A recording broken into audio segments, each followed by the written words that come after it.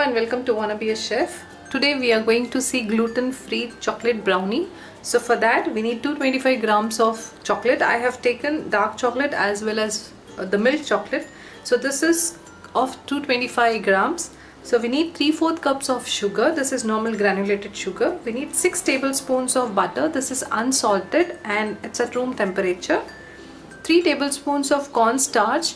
We are taking cornstarch because this is gluten free and uh, it helps in binding the brownie.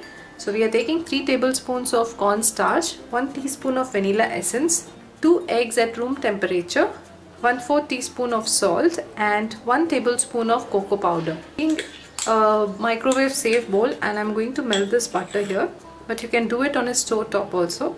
So I'm taking 6 tablespoons of butter in a microwave safe bowl. So our butter has melted nicely. To this we are going to add our 3 4 cups of sugar and we are going to mix it really well. And then we are going to add in our chocolate. That is the 225 grams of chocolate what we have chopped and kept it.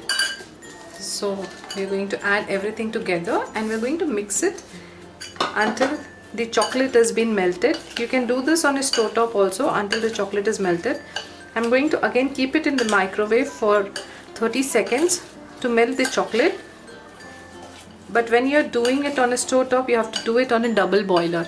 So we have melted the chocolate in the microwave. We're going to give a nice mix and we're going to let this sit for at least two minutes until the temperature of the chocolate comes down a little.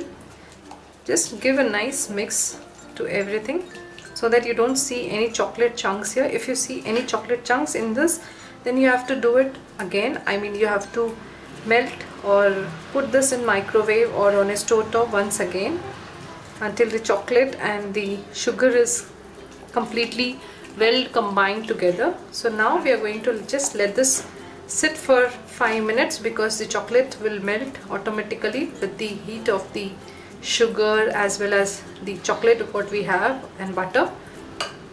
After 5 minutes I'm using a hand mixer here. You can use a hand whisk but hand mixer will take lesser time. I'm using the hand mixer and I'm going to beat this for at least 2 minutes. After beating for 2 minutes I'm just going to scrape the sides and to this we are going to add in the eggs one at a time and we are going to blend it or mix it every time we add in the egg. This goes the first egg and while adding the second egg we are going to add in our vanilla essence or extract whatever you've been using. So we are going to mix this once again. To add in our second egg make sure that your eggs are at room temperature. That makes your batter light and fluffy and every time you make any cake of mine when I recommend it to be at room temperature just use it at room temperature. To this we are going to add in 1 teaspoon of vanilla essence. If you don't like vanilla essence flavor you can add chocolate essence also. So I'm just going to whisk this again until it is well combined and you don't see any sugar granules. This might take around 5 minutes. To our chocolate mixture next we are going to add in all the dry ingredients that is the corn flour or corn starch what we have 3 tablespoons of corn flour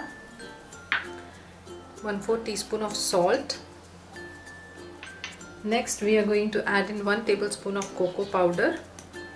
And we are going to mix this using the spatula first. Then we are going to use the hand blender to see to it that we don't have any lumps in our mixture. So now I'm going to use the hand mixer and I'm going to blend this for around 2 minutes or until we have a nice smooth texture. So now we are going to use this. Our brownie batter is now ready. We are going to put this in a greased and lined baking tray and we are going to bake this at 180 degrees for 20 to 25 minutes or until a toothpick comes out clean. I have greased and lined a square baking pan here. So we are going to put this in this pan and we are going to bake this as I mentioned on a preheated 180 degrees for 20 to 25 minutes or until a toothpick comes out clean. Our chocolate brownie, gluten-free chocolate brownie is just out of the oven. I have inserted a skewer, you can see that and it has come out clean, that means it is baked perfectly. So for you, I'm just showing you, baked perfectly. So we are going to let this cool down in the tin for 10 to 15 minutes, then we are going to demold it and I'm going to show you the inside or texture of the gluten free chocolate brownie here. Brownie was cooling in the tin for about 10 to 15 minutes here. Now we are going to take or cut the piece. I'm using a butter knife here. If you have a normal knife then you can do it. Just going to make the piece out of it. I'm going to show you the texture of the cake. See that on top it is all browned and it is like cracks you can see which is just like brownie. And from inside it is moist and gooey. So this is a good chocolate gluten free chocolate brownie recipe. I hope you like this video. Subscribe to my YouTube channel for such interesting and easy recipes. You can also visit me on my Facebook page which is given in the description box. Thank you and keep watching